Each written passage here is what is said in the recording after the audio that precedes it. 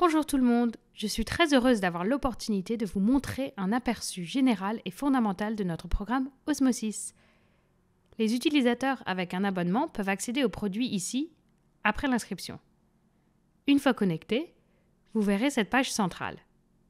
Vous pouvez accéder à la bibliothèque de contenu à partir d'ici. Sur le côté gauche, vous avez accès à différentes ressources, ce qui facilite l'accès à toutes les parties du produit. Ici, au milieu, vous pouvez parcourir la bibliothèque de ressources. La bibliothèque comprend des ressources sur les sciences fondamentales ainsi que des pages d'apprentissage organisées par système d'organes. Nous pouvons également parcourir des vidéos axées sur la révision de sujets en vue de la préparation des examens USMLE et les sujets de révision liés à différentes spécialités médicales. À droite, ici, nous pouvons accéder aux sujets qui nous aident à préparer l'examen du deuxième niveau. Vous pouvez accéder à de nombreuses vidéos facilement compréhensibles dans le style typique d'Osmosis, organisées dans les différents thèmes que vous pouvez voir ici. Voulez-vous rechercher un sujet spécifique? Je vais vous montrer comment je recherche une vidéo sur l'insuffisance cardiaque. Nous pouvons voir les résultats de la recherche ici, et je sélectionne une des vidéos associées au sujet de ma recherche sur l'insuffisance cardiaque. Tous les sujets dans Osmosis sont accessibles sur une page d'apprentissage.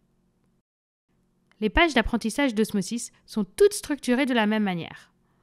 Au centre, vous trouverez toujours une vidéo sur le sujet traité. En dessous de la vidéo, il y a des notes supplémentaires couvrant le sujet. Et sur le côté droit, vous trouverez des ressources supplémentaires pour vous aider à naviguer et à vous auto-évaluer. Concentrons-nous un peu sur la vidéo.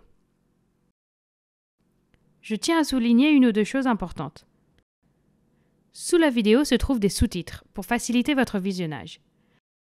Vous pouvez modifier la vitesse de lecture afin de régler la vitesse selon vos préférences. En outre, il y a toujours une transcription si vous préférez lire. Il existe également des liens supplémentaires vers d'autres pages d'apprentissage d'osmosis. Il y a également une table des matières complète avec un accès direct à chaque section. Nous avons également accès à des informations supplémentaires dans la section des notes ci-dessous. Concentrons-nous un peu sur les options d'auto-évaluation. Nous pouvons ici nous tester avec des questions à choix multiples ou des flashcards. Je vais vous montrer les caractéristiques des quiz. Commençons par une question. Après avoir lu, je peux sélectionner une réponse qui me semble correcte.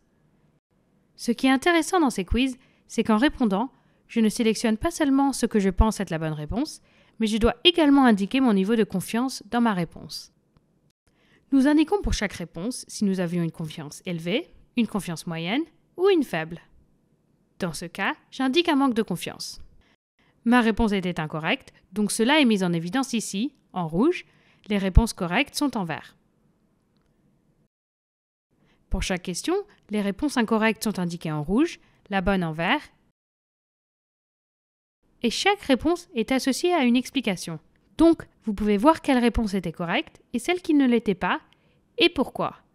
Chaque question comporte également un résumé du sujet traité, ici à droite, et vous trouverez des liens supplémentaires vers des pages d'apprentissage pertinentes.